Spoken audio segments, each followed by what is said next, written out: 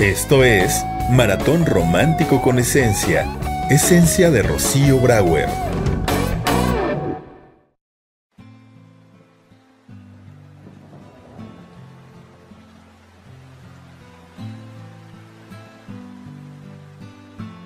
¿Por qué no me quieres a tu lado? Tal vez ni mi amistad vas a querer. No sé si valgo poco para ti o es que tanto te dolería dejarme. Pena he sentido por mí porque cortarías las alas de este amor sin darme la oportunidad de hacerte feliz. Has querido matar mi corazón que según tú es muy grande. Yo sabía que esto tenía que ser un amor en silencio, pero ¿sabes que me he enamorado? Tal vez no lo entiendas, pero me he enamorado de alguien equivocado He tratado de mostrar cuánto te amo, que doy la vida a pesar de que tienes otro amor. Sé que también en lo más profundo de tu corazón, tú me amas, pero no me quieres dar la oportunidad de que a mi lado serías una persona feliz. Aunque sé que no le piensas dejar, no me importa.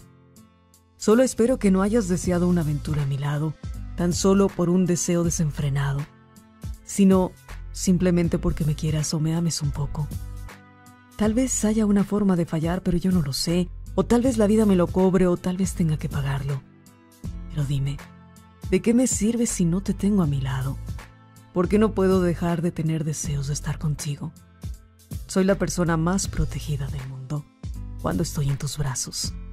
Soy capaz de dar todo por estar a tu lado, pero aún así, no quieres este amor.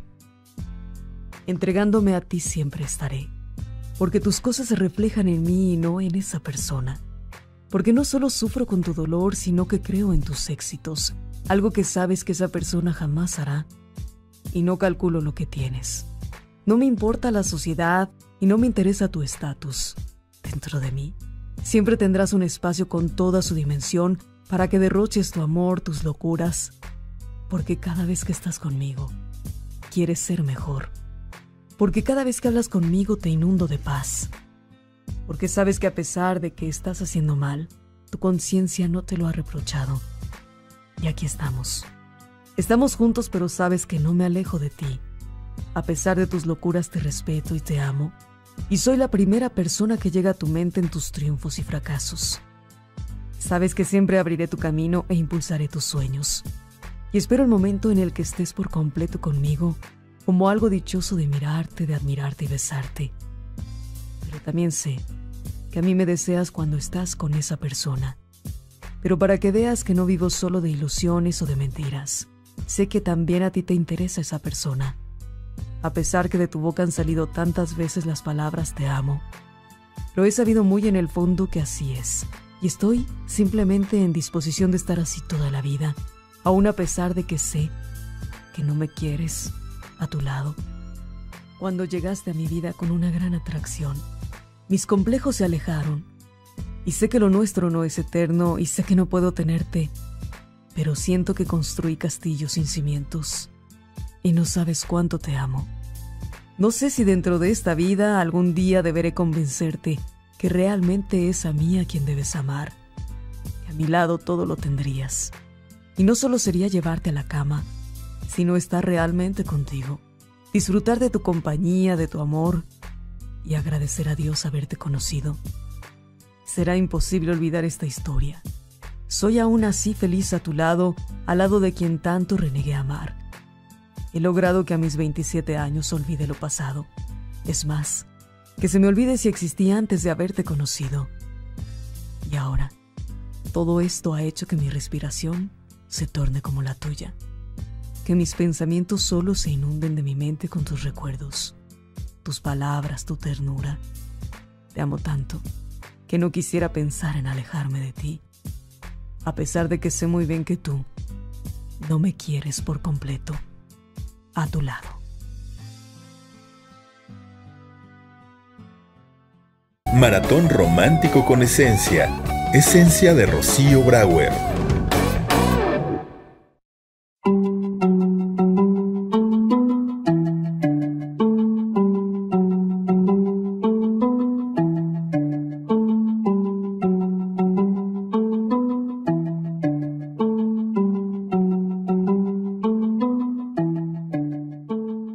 Cierta vez, un joven esposo, esperaba impaciente el nacimiento de su primer hijo. Aunque él deseaba un niño, nació una preciosa niña. Al poco rato de haber nacido su hija, fue a verla y ella lucía radiante. Le pusieron el nombre de María José. Aunque el papá al principio sufrió una desilusión porque quería tener un niño, a los pocos meses de convivir con su hija, él se dejó cautivar por la sonrisa de María José y la forma de su mirada. Fue entonces cuando empezó a amarla con locura. Sí, en verdad. Su carita, su sonrisa, su mirada no se apartaba ni un instante del pensamiento del papá. Todo se lo quería comprar. Siempre hacía planes pensando solo en ella. Todo sería para su María José. El papá contaba a sus amigos este relato muy a menudo, y sus amigos también sentían afecto por la niña, ya que según decía él mismo, su hija era la razón más grande de su vida. Una tarde, en una reunión con sus amigos en un picnic a la orilla de una laguna, la niña empezó una conversación con su papá, y todos escucharon esa conversación que más o menos decía así, Papi, cuando cumpla 15 años, ¿cuál va a ser mi regalo? Pero amor, le decía su papá, si apenas tienes 10 años, ¿no te parece que falta mucho para esa fecha? Bueno, papi, tú siempre dices que el tiempo pasa volando, aunque yo nunca lo he visto por aquí. La conversación siguió más o menos por el mismo tema, y todos participaron de ella. Su papá simplemente en esa conversación no supo decirle qué le regalaría cuando María José tuviera 15 años. Y así, todos regresaron a sus hogares. Una mañana frente al colegio donde estudiaba María José, que ya tenía 14 años, estaba ella caminando y María José estaba muy contenta. La sonrisa no se apartaba de su rostro y el papá estaba muy orgulloso de su hija. María José tenía una inteligencia muy grande y un carisma inmenso. María José ocupaba un lugar muy importante en la mente y en el corazón de toda la familia, especialmente en la de su papá. Fue un domingo muy temprano, cuando se dirigían a la iglesia.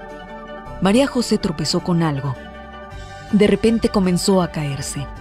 Aunque su papá trató de detenerla, María José no volvió en sí cayó inconsciente. De inmediato fueron, llamaron corriendo a alguien para que les auxiliara, y en eso la llevaron al hospital. María José permaneció por 10 días, y fue entonces cuando le informaron que la niña padecía una grave enfermedad que afectaba seriamente su corazón. Los días transcurrieron y el papá incluso tuvo que renunciar a su trabajo para dedicarse todo el tiempo al cuidado de María José. Aunque su mamá se encontraba cerca, Papá no quería despegarse ni un minuto de su hija. Un día María José le preguntó a su papá, Voy a morir, ¿no es cierto? No, mi vida, no vas a morir, le dijo su papá. Dios es tan grande que no va a permitir que pierda lo que más amo en el mundo. Y María José le dijo, Cuando uno muere va a algún lugar, papá. ¿Puedes ver desde lo alto a las personas? ¿O sabes si pueden volver? Bueno, hija, en verdad nadie ha regresado de allá a contar esto. Pero si yo muriera, no te dejaría sola. Buscaría la manera de comunicarme contigo. Si pudiera, utilizaría el viento para venir a verte. El viento, papá. ¿Y cómo harías eso? le decía María José. No tengo la menor idea. Pero si algún día muero, María José, me gustaría hacerte sentir que estoy contigo cuando un suave viento rozara tu cara y una brisa besara tus mejillas. Ese mismo día por la tarde, Avisaron al padre de la niña que el asunto era muy grave. Su hija estaba muriendo. Necesitaba urgentemente un trasplante de corazón. Si no, no resistiría más de 15 días. Un corazón, decía el padre. ¿Dónde hay un corazón? ¿Acaso lo venden en la farmacia? Ese mismo día, María José cumpliría 15 años. Fue el viernes por la tarde cuando consiguieron un donante o un donador. Las cosas iban a cambiar. El domingo por la tarde ya María José estaba operada y todo salió exitosamente. Sin embargo, el papá de María José no había regresado al hospital. Ella lo extrañaba muchísimo. Su mamá le decía que todo estaba bien. María José permaneció más días en el hospital hasta que su corazón fue fuerte y entonces la dieron de alta. Al llegar a casa, la sentaron en un enorme sofá, el preferido de papá, y su mamá con los ojos llenos de lágrimas le entregó una carta de su papá que decía así, María José, mi gran amor, al momento de leer mi carta, debes tener ya 15 años y debes tener un corazón fuerte latiendo en tu pecho, Esa fue la promesa que yo te hice. Cuando me preguntaste qué te regalaría de 15 años, no supe contestarte. Ahora sé, después supe cuando ibas a morir, que tenía que hacerte un regalo importante. Tenía que darte vida para que siguieras disfrutándola después de mí. Y entonces decidí hacerte el regalo más hermoso que nadie jamás ha hecho. Te regalé toda mi vida sin condición alguna, para que hicieras con ella lo que mejor creyeras, para que sintieras las cosas hermosas de la vida, para que crecieras, conocieras un mundo y supieras lo más importante, vivir. Vive hija, te amo. También quiero que sepas que hoy, mañana y siempre estaré a tu lado, porque eres lo más hermoso que Dios me había dado. María José lloraba todo el día y toda la noche. Al día siguiente fue al cementerio y se sentó sobre la tumba de papá. Lloró como nadie y simplemente le dijo, papá, ahora puedo comprender cuánto me amabas. Yo también te amo, aunque no te lo pude decir. Ahora comprendo esa importancia de decir te amo y te pido perdón si algún momento guardé silencio y no te lo dije. En ese instante, simplemente los árboles se movieron suavemente.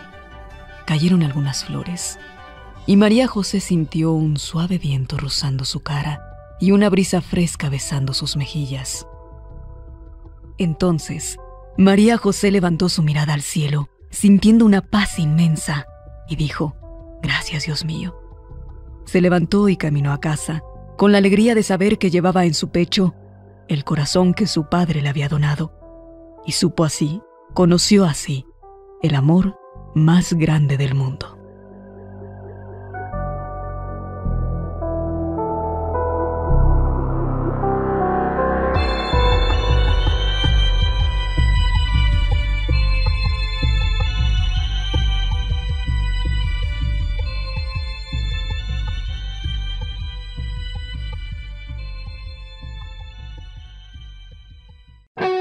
Esto fue Maratón Romántico con Esencia, Esencia de Rocío Brauer.